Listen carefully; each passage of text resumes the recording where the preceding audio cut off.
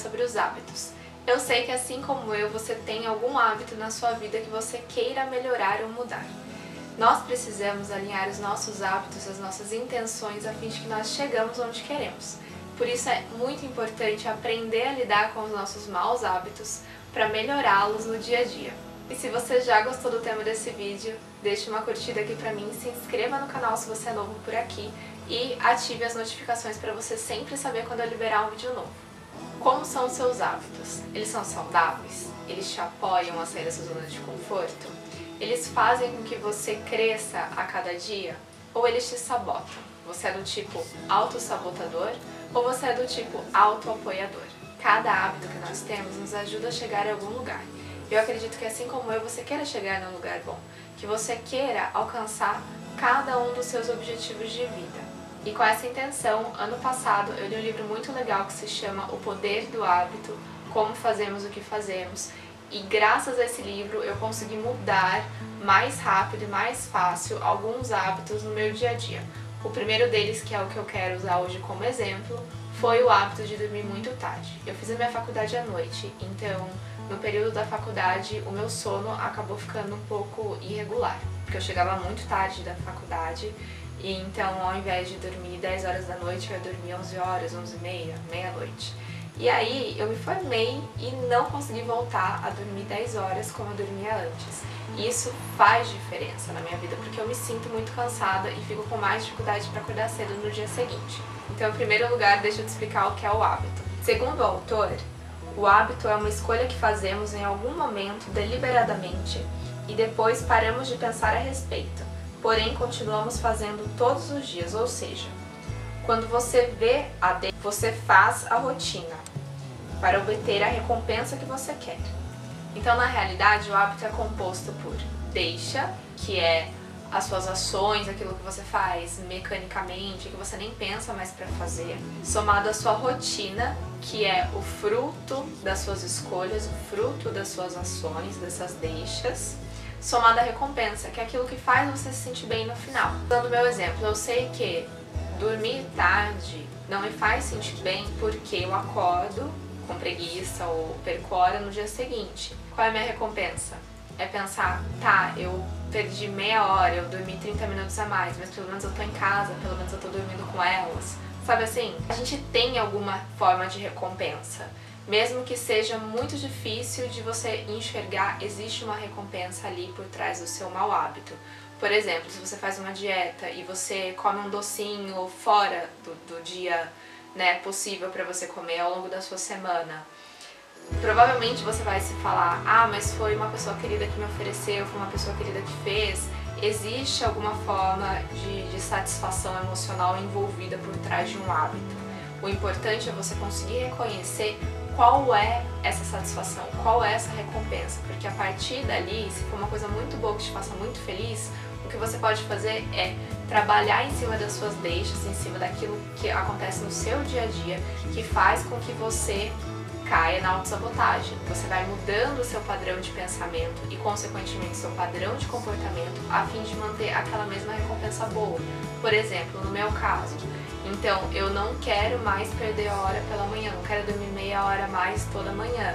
Então eu vou dormir meia hora mais cedo, eu fico com elas do mesmo jeito na cama, de conchinha e tá tudo certo, eu fico tão feliz quanto. Entende? Você mantém o ganho, você mantém aquilo que te faz feliz, mas você muda progressivamente as suas ações e cria novos hábitos, cria uma nova rotina. Uma das maneiras que é explicada no livro é de você reconhecer o que faz você cair na autossabotagem é o seguinte, que para conseguir identificar um hábito, a primeira coisa que você tem que fazer é identificar uma rotina e perceber se existe um looping do hábito, se você faz aquilo de forma repetida, faz aquilo de forma automática sem perceber e sem parar, se existem comportamentos, se existem pensamentos ou se existem deixas, que são aquelas ações que a gente faz é, sem nem perceber. E aí, o segundo passo seria experimentar a sua rotina com recompensas diferentes. Então, no meu caso, se eu tenho a tendência a acordar mais tarde, eu justifico aquilo na minha cabeça dizendo que, opa, pelo menos eu fiquei de conchinha com elas, eu, o que, que eu faço? Eu boto na minha cabeça que se eu for pra cama mais cedo, eu consigo aproveitar, ter um momento de qualidade à noite antes de dormir com elas. Então não preciso sabotar a minha manhã para fazer isso. Isso é tudo muito inconsciente, mas eu trago isso à luz da minha consciência para conseguir fazer. Depois de experimentar a rotina com diferentes é, recompensas, a gente isola deixa. Então, se eu sei que eu costumo ficar no sofá mexendo no celular e perder hora, então eu mudei o meu horário para mexer no celular. Eu mexo antes do jantar e não depois do jantar. Isso faz com que eu isole aquela ação inconsciente que faz eu dormir tarde.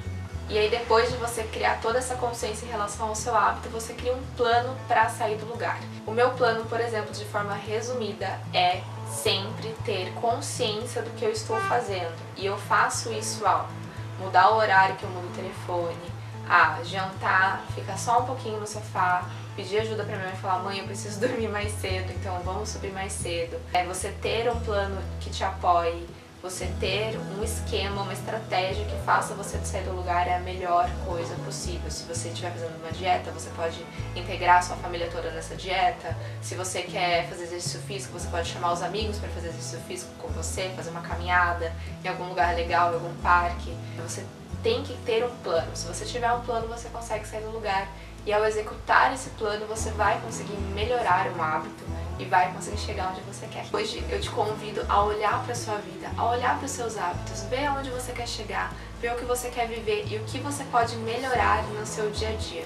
Reconheça as suas deixas, reconheça aquilo que te auto-sabota, porque quando você conseguir enxergar o que te auto-sabota de forma honesta com você mesmo, aí você vai conseguir fazer escolhas melhores. E sempre que você precisar, peça ajuda, peça ajuda para sua família. Se você está fazendo uma dieta, se você quer dormir mais cedo, se você quer acordar mais cedo, peça ajuda para alguém, você não precisa fazer isso sozinho.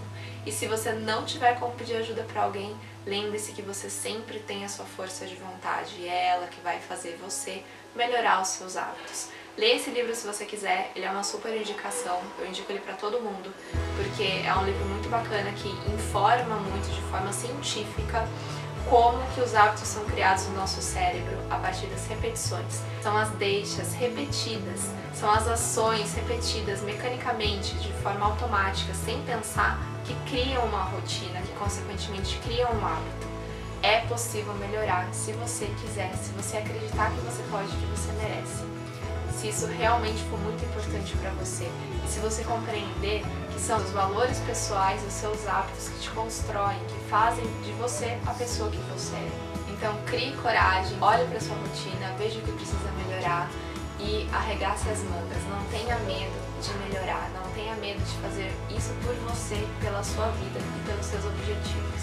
Se você gostou desse vídeo, deixe uma curtida aqui pra mim não se esqueça de se inscrever no canal, de ativar as notificações e de compartilhar esse vídeo com um amigo que você acha que precisa aprender um pouco mais sobre hábitos e como melhorar os hábitos. Quebre a constância da autossabotagem, crie a constância da proatividade. Você pode chegar lá e você vai.